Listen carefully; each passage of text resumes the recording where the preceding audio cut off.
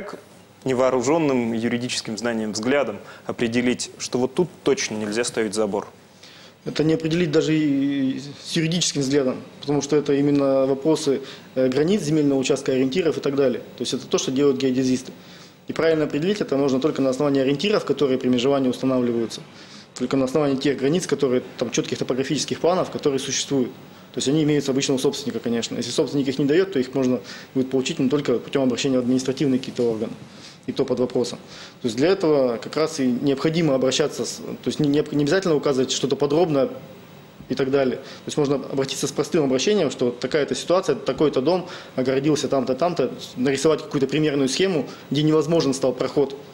И схематично что-то изобразить, не надо для этого быть художником. И, соответственно, с этой схемой подать заявление.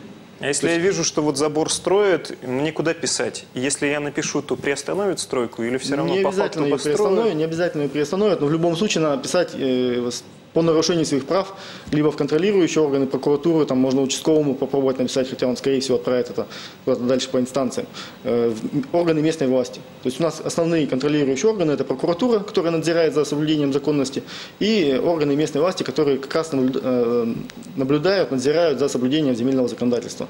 А вот То есть смотрите. районная администрация, либо э, городская администрация.